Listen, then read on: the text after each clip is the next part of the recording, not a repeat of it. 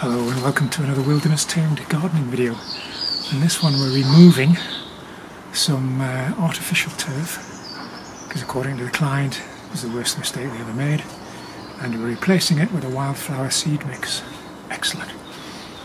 Because we're taking this stuff up it doesn't biodegrade so it's going to have to go into landfill. That's how green and environmentally friendly artificial grass is.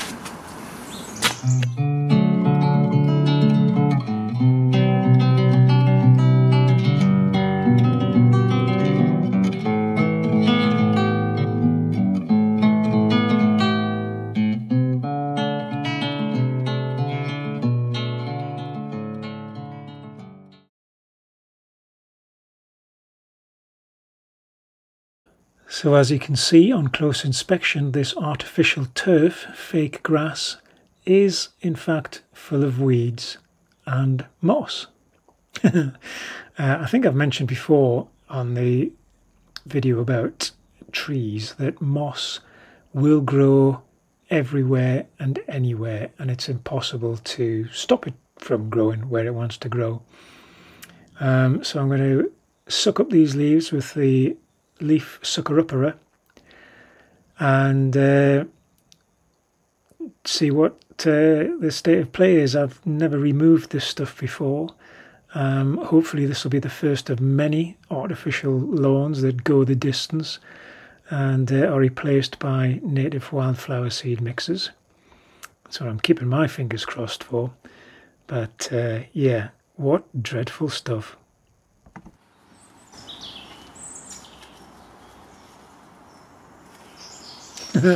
so yeah, as easy as that. Literally, it's held together with jointing tape, um, and I think it was just it's probably just the weight of the moss and the weeds keeping it down, to be honest.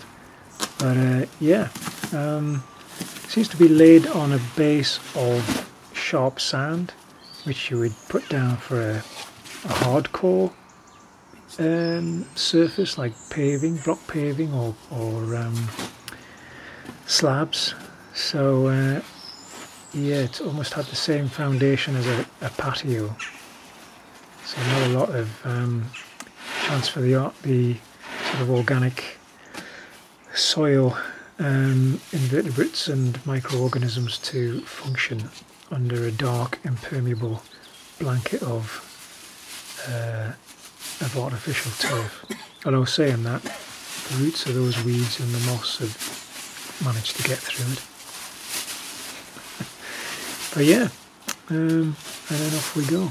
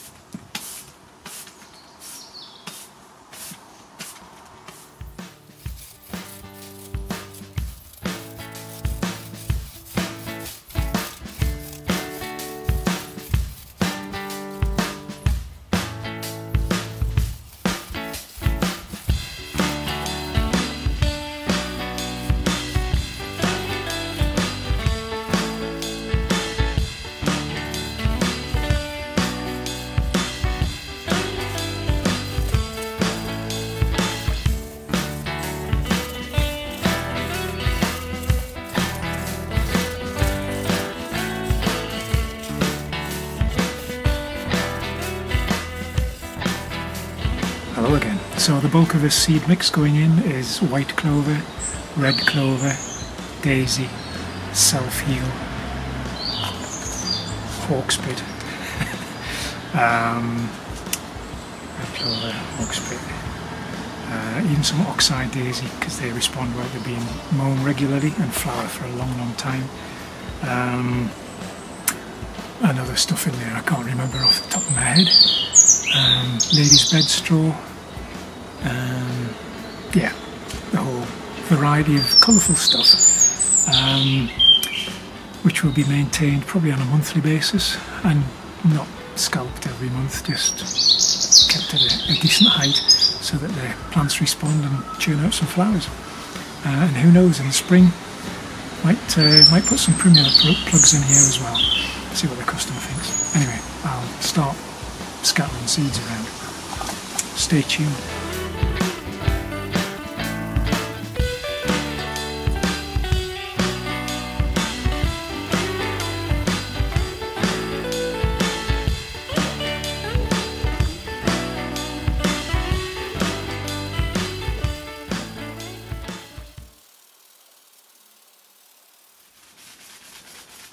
and that is pretty much the job done seeds in and then firmed down